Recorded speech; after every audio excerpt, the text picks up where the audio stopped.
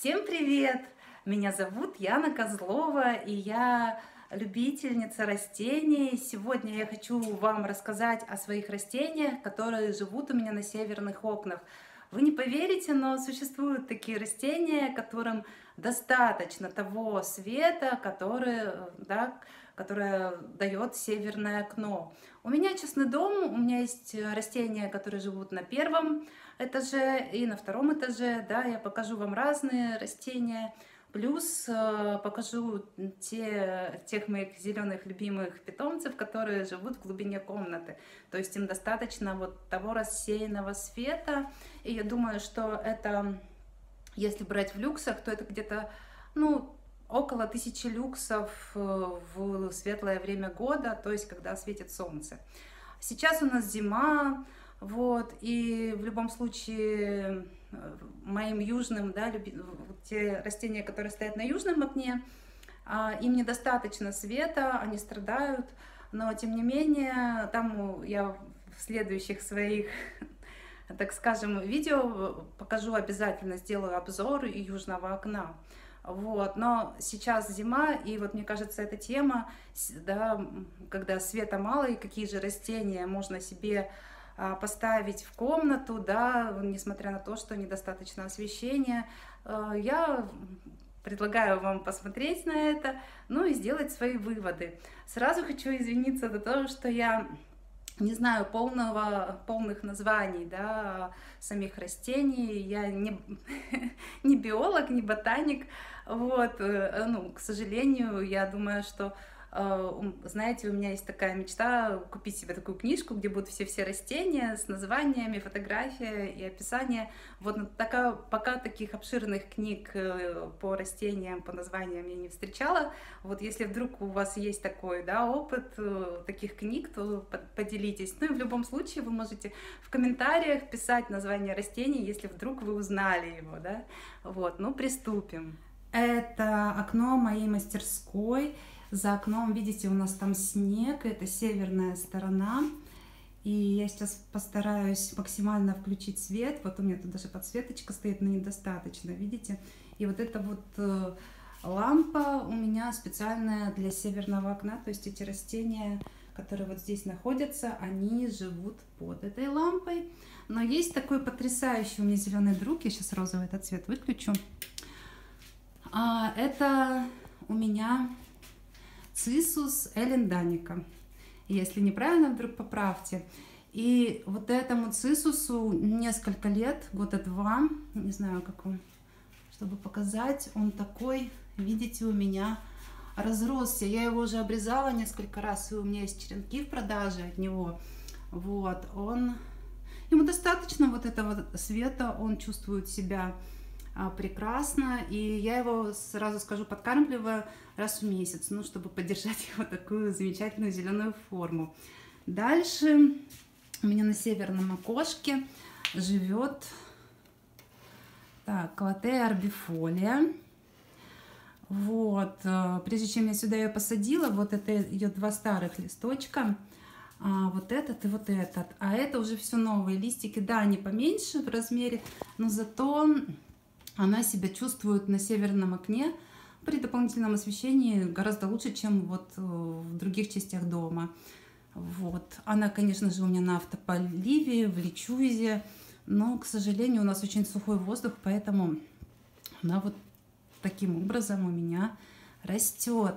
Дальше на северном окне, э, это то растение, которое вообще не переносит солнеч... прямых солнечных лучей, это так, сейчас я тебя возьму в ручки. Фиалка а, Комбейн Классик. Написано, ну вот фиолетовая она у меня цветет. Все говорят, как же добиться вот этого, знаете, цветения фиалок. Ну вот она у меня под этим искусственным розовым освещением стоит, плюс э, северная кошка цветет, вот как мне ее подарили, знаете, вот уже с лета ну, все время новые выдает вот эти цветочки. Потом у меня здесь пеперомия. К сожалению, не знаю ее название. Ну, знаю, что это пеперомия. Вот это ее детка посаженная. А, допол в дополнительный горшочек. Тоже замечательная растюха. А, такая, знаете, уже, по-моему, сейчас возьму в руки.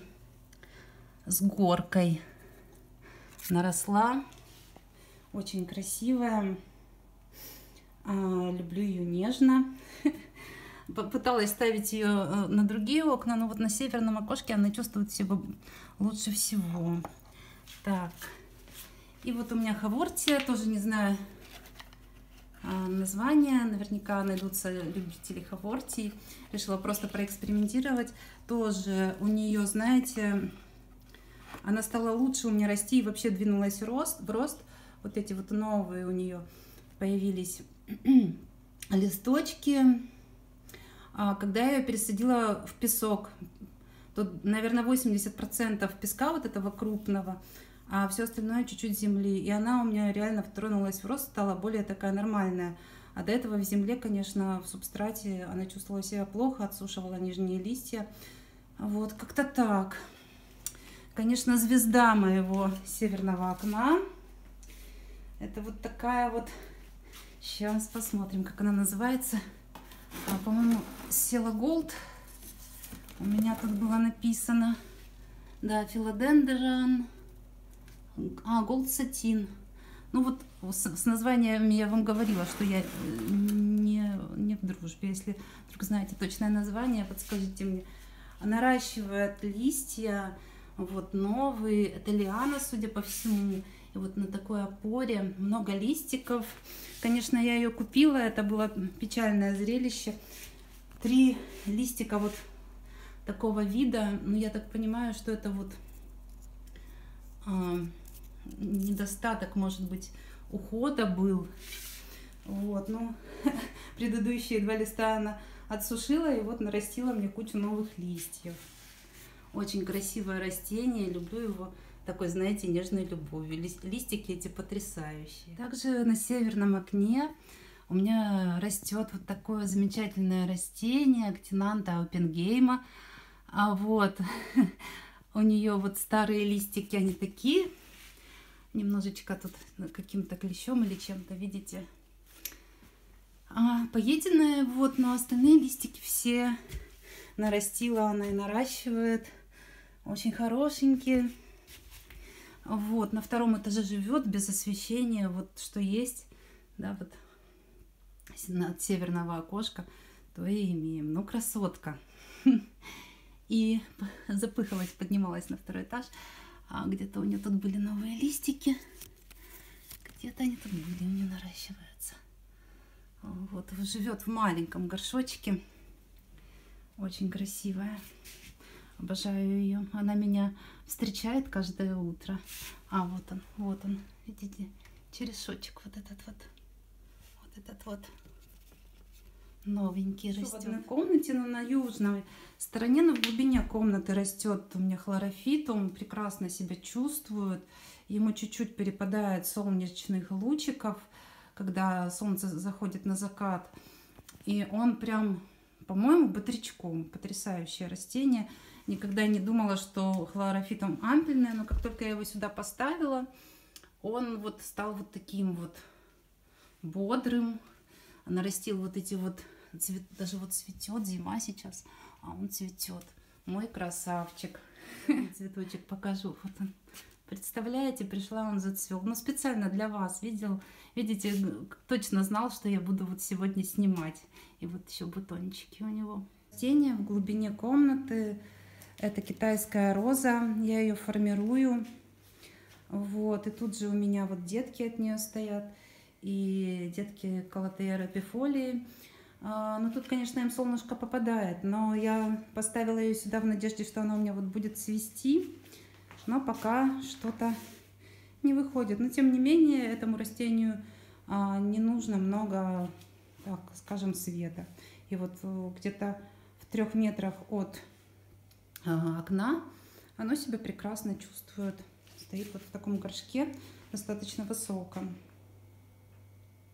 Что могу еще сказать по поводу северных окон, да, и вот в глубине всегда нужно смотреть э, на состояние растения, да, то есть у меня происходит постоянно анализ, а, подходит растению, не подходит, а, освещенность, да, сухой воздух или что-то. У меня всегда на окне лежит градусник.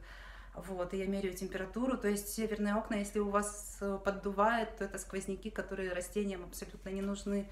У меня окна, знаете, они герметичны, и оттуда нет вот этого холода.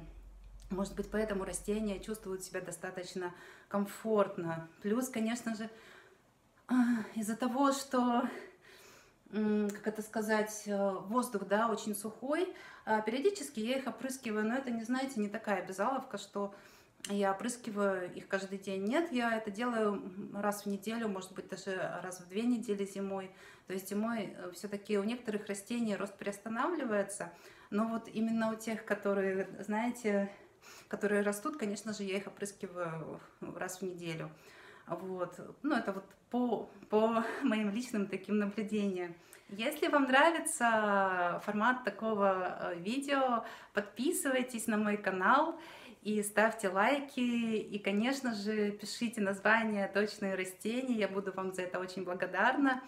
Плюс, конечно же, задавайте вопросы, если у вас есть какие-то а, да, по теме нашего сегодняшнего видео. Всем пока! Thank you.